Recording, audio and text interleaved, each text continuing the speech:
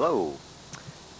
It is September 24th, 1990, and this is the first edition and the documentation of my yard. It's kind of a visual record of what happens year to year, season to season, and kind of talk about the plants in there and where I got them and just my feelings on the whole thing. This is my front lawn. The sprinklers are going right now. And this was put in fall before last. The old lawn when we moved in was not too bad, but it was in disrepair, so we ran a side, side cutter, removed the whole thing, rolled it up, and put it in the backyard in one of the raised beds. And put in the new lawn. And the old lawn take up the whole front, used to take up the whole front yard, and now is in a serpentine pattern. The sprinkler system I finally got installed, well the sprinkler system, the piping was all laid down when I put the, the lawn in, but the sprinklers weren't actually hooked up until just a couple months ago. And has been a big help. It's been a real hot year this year, so I've just been able to turn on the sprinklers and let it go. And there's separate sprinklers for the lawn and then separate sprinklers for the perimeter of the yard. I will hopefully film this again in the springtime, but there are 600 tulips and daffodils planted in this front yard around the perimeter. Quite a show of color in the springtime. It's a pink dogwood that blooms nicely in the springtime. Tree isn't in that great a shape, but I'm not going to cut it down. The leaves are already beginning to fall. I just raked the yard a little bit ago. I do need to get some more fertilizer on there turning a little yellow in spots. That Japanese maple over there used to be up on the corner out by the street, but was going to get too large and decided to move it over there, and it's pulling out of its shock. Got some new leaves this year, looking very nice. The forsythia that is going get like gangbusters should um, should put on quite a show in the springtime. And there are some rhodies and camellias in the front, and hopefully will just grow up and kind of screen me from the street. This is the other Japanese maple that is going to have to be moved. I wasn't wasn't very good planning when I put it there because it is going to get too large and get into the driveway. This is the arbor Jeff built uh, early in the year. Very oriental feeling to it. I really like it. I like the style of the, the gate and the back to be changed just a little bit, but very nice effect on it. There's a light up there and seating and everything. I'm going to make it so that we can put a table in there and have high tea when we desire. This is the backyard, which is an utter disaster at the moment. Uh, we've been moving things in and it's kind of catch-all right now. You see, it broke, just broke ground for the new pond. hadn't intended to start that exactly yet, but I needed a mound in the in the garden area, so needed to excavate some dirt. Decided to start on it. Probably gonna be a muddy mess this winter. Just got the firewood in for the winter.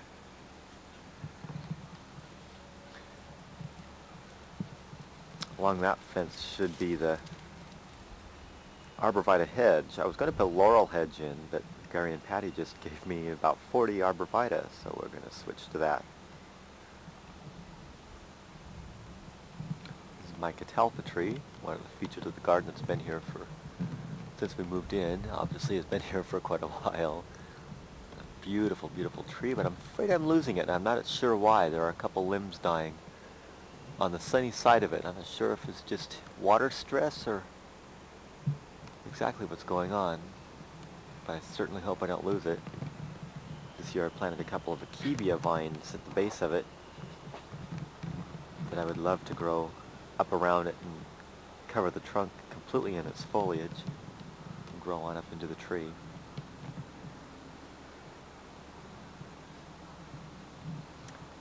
So lilac over there in the on the corner of the house and I just planted a clematis at the base of it to climb up into it and establish itself. This is my grape arbor that got built this year. I'm just thrilled with it. Its primary purpose, other than the fact that I wanted a grape arbor, uh, was to shade the greenhouse, which overheats very quickly in the summertime. Combating that two ways, I've got the scarlet runner beans growing on there this year, which is a nice, nice look. I really, it's a nice lush foliage on it and pretty red blooms. Um, but I am going to be putting more timbers across the top of the grape arbor and allowing the four grapes that are planted there to completely cover it and also shade the greenhouse. Very nice effect. I'll probably put a swinging seat in there. And this is the main garden.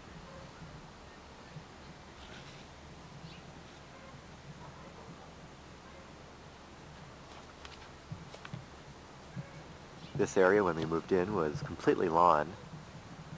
Was just grass from front to back. And eventually have transformed it into what we see now.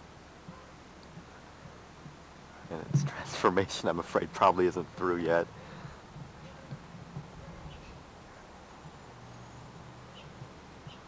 The east border here, the east perennial border, was, as of spring, just bare ground, um, including the pathway here. Uh, the pathway is made of broken concrete chunks, and Jeff had suggested this, suggested this some time ago, but I didn't think it was a very good idea. I didn't think it would look good. I brought home a few chunks this springtime, and I do like the looks of it, and decided to go with it. Makes a very, very nice walk and inexpensive and it's completely interplanted with Corsican mint, which has taken hold very quickly and is going to cover in between the cracks completely. It's very nice to walk on. Nice minty fragrance. Weeds growing in it, which is a lot of fun trying to keep those pulled out.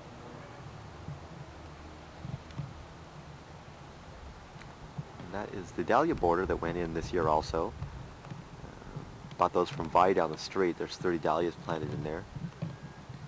Really enjoy them. A lot of people don't like dahlias in the garden because they're too bright of colors, I guess, but I think they're a nice fall color. Anyway, the east border uh, was all dug by hand in the springtime and pretty well planted by March with the perennials. And this is its first year, so they aren't very full yet. By next year and the year after, they really should come into their own and make a very, very nice border.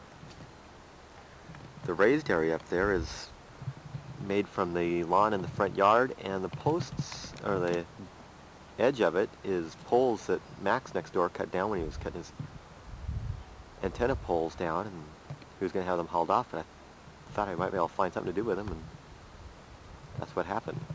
I think that's probably going to become the rock garden the plum trees I want to come out. Uh, they make such a mess and don't add much to it. And I think I'm probably going to haul in some more rock and make that into a nice rock garden.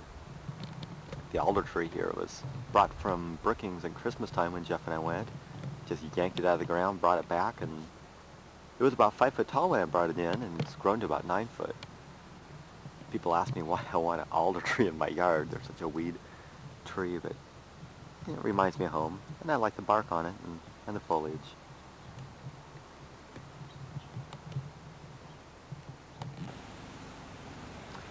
The colchicums were dug up from the backyard right next to the house. They were kind of lost in the iris, so wanted them to be more noticeable. Brought them out. They're a pretty color for the fall. This is my honeysuckle, which is growing on the bird feeder. See if I can attract all the finches and all the other birds that come, and also the hummingbirds, which do like the honeysuckle. And it's nice planted so close to the path here in the evenings when it's in full bloom. Uh, the fragrance is very, very sweet. It's also planted in an area, my Adirondack chairs will go right in, through, right in there and also get the benefit of the honeysuckle fragrance. And the rock wall. That was finished a few weeks ago. Uh, brought in some yellow shale that my brother Paul brought from Mount Emily. And you're seeing the best part of the rock wall. This was the last part to go in, and by the time I finished with it, uh, I was finally starting to, I was finally starting to get the hang of it and realizing how, how it worked and how it should go together. Got the knack of it.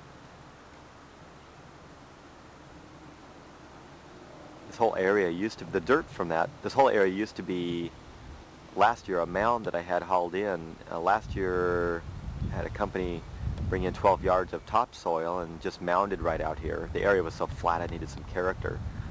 And as I started the rock wall, wasn't I wasn't too sure how the whole thing would come together and it just it just happened this way. And consequently I had to dig up the dirt by hand and mount it up into the kidney-shaped bed that you see. That was of work.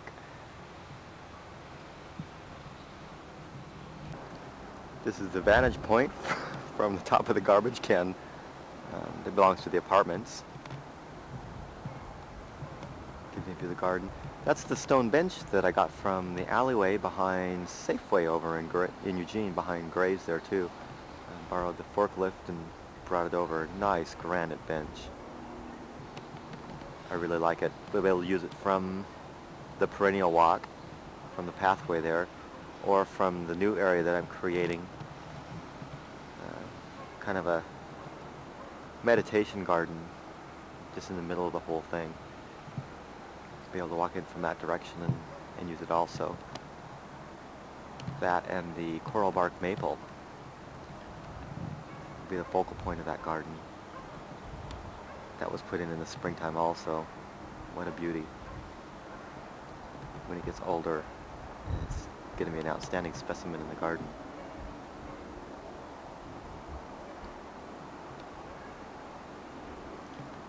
That ceanothus was brought from Brookings also at the same time that the alder tree was. It's been moved once already in the garden. This is its second second home. I thought I'd lost it, but it's come back very nicely. I'm anxious for it to bloom in the spring. Very nice. And the ponderosa pines here, there are two of them. Uh, Debs gave us years ago, probably four years ago, and put in here. They have the potential to get absolutely huge in this garden. I don't really want that, so they'll probably stay tortured their whole lives, keeping them at a, maybe a height of 10 to 12 feet. I don't really want them much taller than that. Here's the pathway. It comes right up to the garbage can. Winds itself along the east border.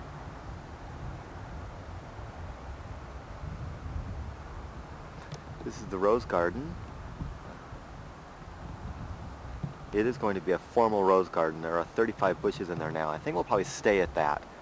I may switch a few roses in and out to get the varieties that I really want.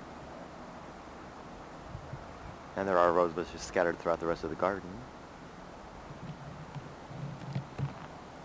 This one will be one that's staying. It's my Sunbright, and it won me my first first place trophy at last year's, a year before last, uh, Rose Show at Valley River Center. Won me the first place trophy for novice entry. Beautiful rose. I do like it. The fall blooms are very nice.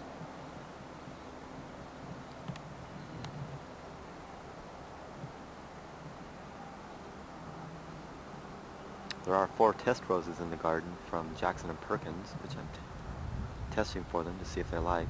These are the, I just brought these rocks in, actually from another part of the garden, but I need to go get some more. This'll instead of concrete chunks, this section of the garden is going to be done in stones um, in the style of the Japanese gardens at Washington Park in Portland. There'll be lots of little stones interspersed in between these. Very nice effect. It's my Thundercloud Plum, uh, brought in last year, put in last year as was the Japanese maple, which didn't fare very, very well this year. I'm afraid it got too hot for it out here. I'd like to plant some staghorn sumac on the back of the property, just an expendable tree just to provide some shade back here. It does get so hot.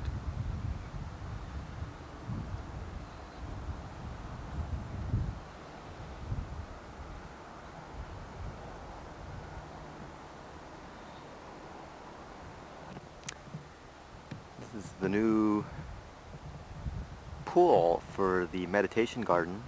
I just brought it in last week. I think it's from the 20s and 20s or 30s. Very mossy and I like the effect in the garden very much.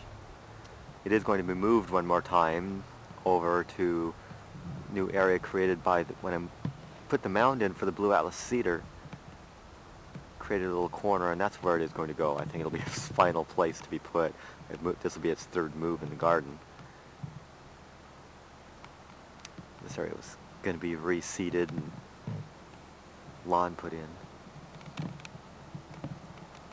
Again, the coral bark maple and the stone bench, granite bench. My Cotoneaster henryanus, but I that I moved over from another part of the garden for the rock for the for the new pool, but it was going to be a nice backdrop for it. I think I'll leave the Cotoneaster there and move the pool.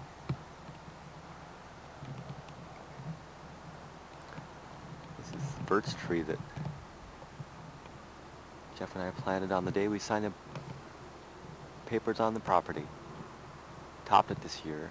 Want a little more spread on it, not go so upright. It's doing very well. My new Blue Atlas cedar. I had one planted over here originally. I ended up giving it to Ted because I realized it was just going to get so large it was just going to overpower the garden and shade the whole thing. So I gave it to Ted, moved on to his property back here, and I bought a sculptured one that I can work with, keep fairly small. Nice oriental look to it mound is the dirt excavated from the new pond in the backyard. This is the current view from the granite bench. There is a juniper planted on the other side of the pool here um, that I brought from Brookings and two Hinoki cypress that should border the garden, this little garden in as in tour.